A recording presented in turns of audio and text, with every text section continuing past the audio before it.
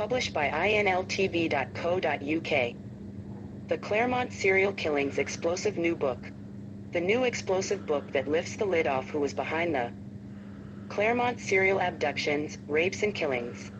Why they happened and why and how the Western Australian allowed them to happen.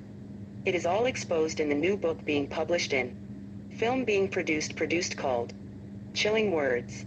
Dark Side of the Claremont Murders. The book making public for the first time the facts, information and legal and factual analysis that neither the Western Australian Police, the Western Australian Government, the Director of Public Prosecutions for Western Australia, Supreme Court Justice Stephen Hall, or even the defense team for Bradley Robert Edwards wanted to hear about, read or know about before or during the long six months trial of Bradley Robert Edwards. INLTV is easy to find hard to leave. Email login link for inltv.co.uk.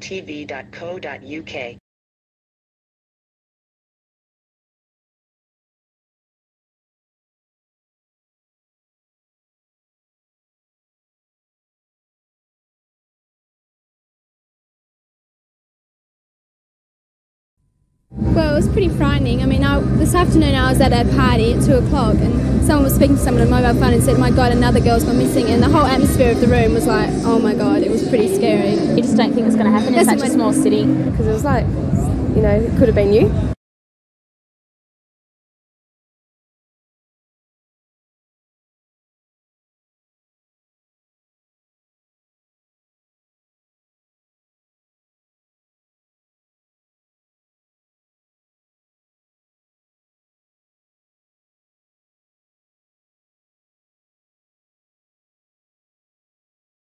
Good evening. Claremont serial killer Bradley Edwards is likely to die behind bars for terrorising our city for almost a decade.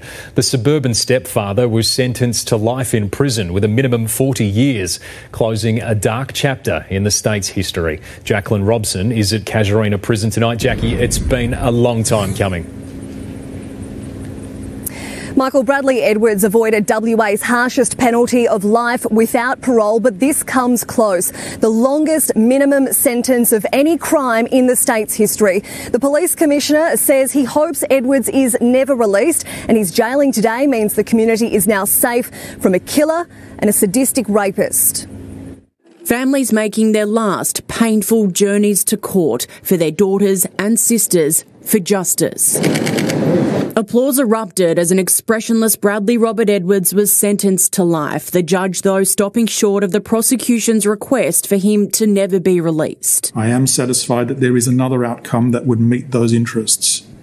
That outcome is to impose life sentences with a very long minimum term. Long, as in 40 years, meaning the 52 year old won't be allowed to try for parole until he's 88. There is a high likelihood that you will die in prison.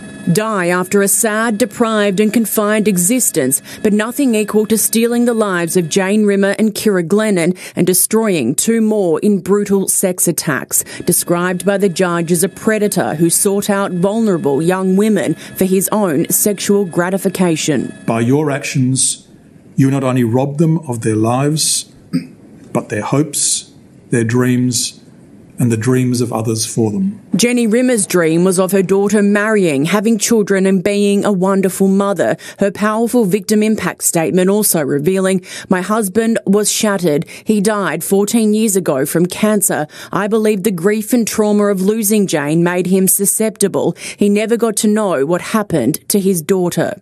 Cruelly, Don Spiers didn't have the chance to speak his mind. His 18 year old daughter, Sarah, the first to disappear, but her body never found, and not enough evidence to convict. The quest for justice for Sarah will continue. Etched into WA history is the mid 90s when Jane Rimmer and Ciara Glennon were snatched from Claremont streets during nights out, their necks slashed as they fought for life. Ciara's desperate battle ultimately leading to her killer's conviction. It would take years, but DNA found under the 27 year old's fingernails was linked to the two cold case sex attacks. Then fingerprints from an assault, bringing police to Edwards in 2016. Then there were the fibres found on on her body, as well as Jane Rimmer's, matching the Telstra technician's clothing and the car he drove. This is the longest ever minimum sentence for any crime ever in Western Australian judicial history. The jailing of Edwards means the community is now safe uh, from this terrible person. His parents making a swift exit. Edwards declined to participate in a psychiatric report, leaving little insight into why he killed, why he attacked, and terrorised a generation of West Australians. The theory of a marital breakdown driving him to violence abandoned during the seven month trial, but 95 days of evidence exposing his secret stash of violent pornography, homemade sex toys, women's lingerie, and writing fantasizing of rape and abduction, while on the outside he was calm, polite, a suburban stepfather, and little athletics coach. This ability to dissimulate may go some way to explaining how you were able to lead such an overtly unremarkable life whilst committing the offences. Ordinary, now revealed as monstrous, and tonight all but certainty he'll never hurt again. But we must never forget Sarah, Jane, and Ciara. Renee Henry, 9 News.